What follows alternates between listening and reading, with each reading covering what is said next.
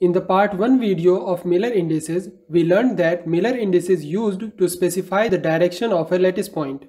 The square bracket denotes the Miller indices of a particular direction, the same angle bracket as the family of the direction. In addition, we also learned that the number of indices in Miller indices depends on the dimension of a lattice. In this video, we will learn that Miller indices is used to specify the plane of a lattice.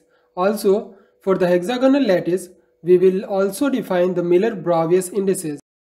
In order to understand the Miller indices of a plane in 3D, we consider a straight line in two dimensions, which intercept the axes at A and B. The equation of a straight line will be x upon A plus y upon B equals to 1. Similarly, if a plane in three dimensions intercept the axes at A, B and C, the equation of the plane will be x upon a plus y upon b plus z upon c equals to 1. But the point is that it is not absolutely necessary that these intercept points be integer. These can be fraction, infinite or even less than 1. To overcome this problem, we take the reciprocal of these intercept points which are denoted by h, k and l. This is called the Miller indices of this plane. To write the Miller indices of a plane, we have to follow some steps. For example, the given plane cuts the axes at NA, MB and LC, where A, B and C are the lattice parameters. Step 1. Note the intercept points of the given plane in term of lattice parameter. In step 2, divides these intercept points with their corresponding lattice parameters. In step 3, takes the reciprocal of the remaining numerical values. In step 4, after taking reciprocal, if the numerical values are in fraction, then multiply by smallest common factor so that all three values are converted into integer. After doing this, we will get three integers which are called Miller indices of the given plane.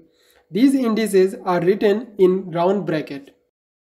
As an example to understand practically, let's take an orthorhombic lattice with the lattice parameter a, b and c. Now let us calculate the Miller indices of the given plane.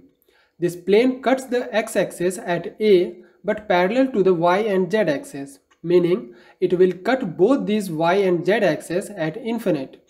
So the intercept points of this plane are 1a, infinite b and infinite c.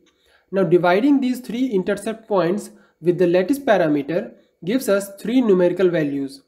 Taking the reciprocal of these three values, these values are integer so that there is no need to multiply them with a common factor. Hence, Miller indices of this plane is 1, 0, 0. If we pay attention to the plane and its Miller indices, we find that the axis of which the plane is parallel, the corresponding Miller indices of that axis is 0. In this way, if we talk about plane 2, this plane cuts y-axis at B while parallel to the x and z axis. Hence, its Miller indices will be 0, 1, 0. Similarly, plane 3 is parallel to the x and y axis while cuts the z axis at C. So, its Miller indices will be 0, 0, If we pay attention to the cubic crystal, these three planes exist at equal distance from their consecutive parallel planes, which we can check with the interplanar spacing formula. Since all three planes are at equal distance, they will be called members of a family and the Miller indices of this family denotes in a curly bracket. The interplanar spacing of all the members present in a family is equal only when it is called a member of that family. We saw that plane 1 has a Miller indices 1, 0, 0. If it's parallel, we take another plane which cuts the x-axis at 2. There is a 1 by 2 a fraction in the reciprocal of these intercept points. To remove it, we multiply all three values by 2. By doing this, we get Miller indices 1, 0, 0 of this plane. Hence, the Miller indices of all parallel planes are same. In the next example, the given plane is on the body diagonal of the lattice which cuts the x-axis at A and y-axis at B while z-axis is parallel. Hence, Miller indices of this plane will be 1, 1, 0. In fourth example, we have considered a plane which cuts x-axis at A z-axis at c and y-axis at minus b. When we write Miller indices for this plane, we get values of HKL 1, minus 1 and 1. As we learned in the last video, in the Miller indices notation, the negative number is written by bar. Therefore, the Miller indices of this plane will be 1, 1 bar 1. Pay attention. If any plane passing through the origin, how would write the Miller indices of this plane? It is to be kept in mind that if a plane is passing through the origin, we have to consider another plane parallel to this. As we said in starting, all parallel planes have the same Miller indices, hence Miller indices of these two will also be the same. Now let's calculate the Miller indices of this new plane. It will also be called the Miller indices of the plane passing through the origin. Now let's talk about how the plane of a hexagonal lattice is specified. Four crystallographic axes A1, A2, A3 and C are needed to define the hexagonal lattice. This is the reason that to specify its plane, not 3 but 4 indices are required. These 4 indices are called Miller-Bravais indices. A hexagonal lattice is made up of two hexagonal planes. This plane is called basal plane. It is clear from the geometry that the three axes A1, A2 and A3 are at 120 degree about C axis. In Miller-Bravais indices, H is related to A1 axis, K is related to A2 axis, I is related to A3 axis and L is related to C axis. Hence, there will be geometrical relation between H, K and I.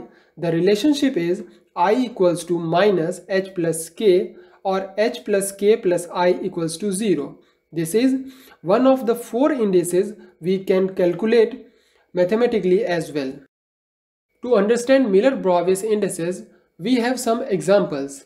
In the first example, we calculate the Miller-Bravais indices of the basal plane. Since this plane is passing through the origin, its parallel take another plane, which cuts the c-axis at 1 and the remaining three axes are parallel.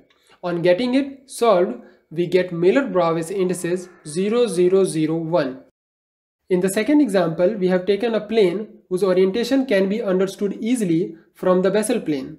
This plane cuts the A1 axis at 1 and A3 axis at minus 1, while A2 and C are parallel. Hence, Miller-Bravais indices of this plane will be 1, 0, 1 bar 0.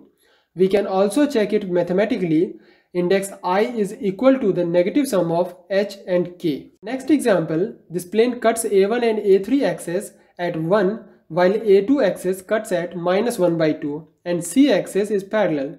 Hence, the Miller-Bravais indices of this plane will be 1, 2, 1 bar 0. The Miller indices and Miller-Bravais indices of the hexagonal lattice can be converted to each other with the help of mathematical formula. Since the index i is not independent, it is sometimes written with a dot. So in this video we learn how to write Miller indices of a plane and direction. Also we learned that different brackets used for a different purpose. I hope you like this video.